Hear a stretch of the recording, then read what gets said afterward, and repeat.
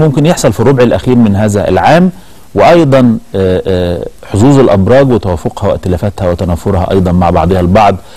برحب بفرعون. نورني كل سنة وانت طيب. بنورك. حضرتك طيب. عامل إيه؟ كله تمام. إيه بقى الربع الأخير من ال- من العام ده؟ آه. حلو. الربع الأخير بيبقى فيه تتغير أمور كتيرة وبالذات السنة دي إحنا قلنا هي في سنه برج الاسد. طبعا بتبدأ حاجات أول حاجة حلوة هتحصل إن يبدأ يرحل كوكب المريخ عن الكون. مم. ودي حاجة تكون ساره وتعمل انفراجة كبيرة بالنسبة للبشر والكون بعد الخنقة الكبيرة اللي حصلت ديت.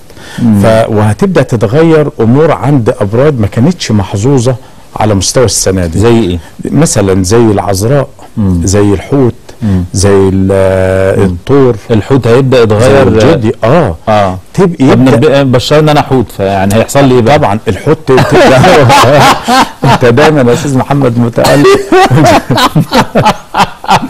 معلش برضه الواحد ياخد شوية يستفيد شوية. طبعا آه، إن شاء الله تتغير أمور كبيرة. عندك تكون عندك بعض المشاكل عندك أشياء سيئة. كتير قوي آه،. لا والله كتير مشاكل كتير آه، لا آه، وبعدين الهجوم نازل عليا من من يعني من ليسوا أهل المهنة. أنت يعني أنا بنتقد ال- إن دخلوا المهنة مش إعلاميين. طبعا. فقاعدين يشوهوا بت- الواحد بشكل سافل بشكل مبتذل. اللي انت ما تكون اعلامي انت راجل مفكر ومبدع ما بقولش دارية انت عارف رأيي كويس وانت كاتب راجل كاتب عندك فكر وعندك تألق فحركتك بتحب الحرية.